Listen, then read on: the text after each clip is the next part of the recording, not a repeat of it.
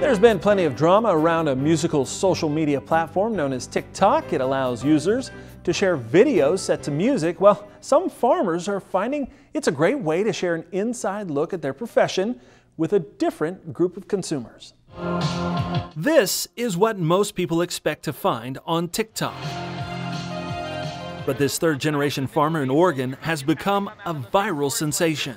Harvest never stops, guys. Well, it does sometimes, but not this time of year. We farm 4,000 acres, um, eight to nine different crops, from asparagus to wheat. Um, obviously, onions are a significant part of that. Last month, his behind the scenes video We have to store our fruits and vegetables so that we have them later. of onions in storage exploded in popularity. The, the reason that I did it initially is I had made some commentary earlier about how long onions store and how we store our onions for seven, eight, nine months. And someone responded, Well, you mean my onions are a year old? Just how long produce can be stored and why, obviously striking a nerve. The video surging to 40 million views. A few people showed a lot of interest in it, and they showed it to a few more, and they showed interest in it, and it just exploded. Watchers commenting things like, OMG, I have literally never thought about these logistics. Another saying, Isn't this supposed to be a secret?